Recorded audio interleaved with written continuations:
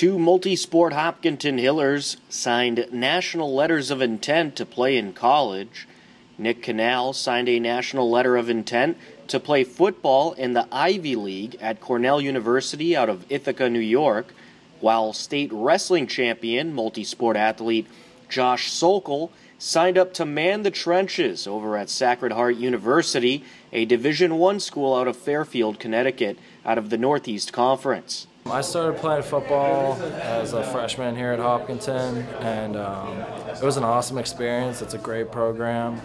Uh, as a sophomore, I, um, I learned a lot throughout the three years here with uh, Coach Gerard. He's an awesome coach. Can't say enough about the program. I had a lot of fun, unforgettable high school football experience, and uh, taught me a lot of life lessons, made me a better man, and uh, I'm really going to miss it. All right, what made you choose uh, Cornell? Um, the education and uh, the coaching staff. I love the campus when I visited. Uh, it's a great school.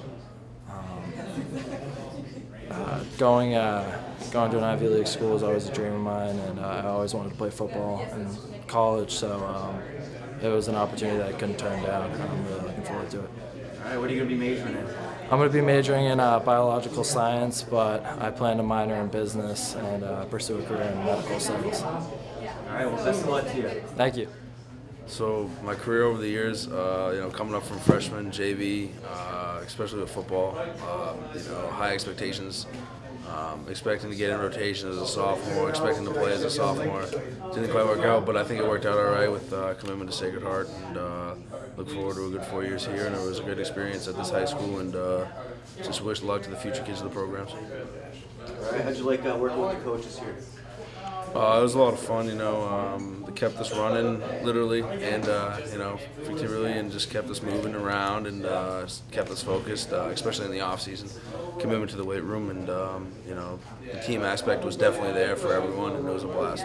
All right, what made you uh, choose Sacred Heart? Uh, just the uh, environment and the feeling I had with the program, and uh, commitment, and uh, the success of the program, and uh, just everything about it just felt great. All right, what are you going to be majoring in over there? Criminal justice, definitely criminal justice. Uh, Got to follow in the dad's footsteps and uh, continue uh, working hard. All right, well, congratulations. Thank you. Thank you very much.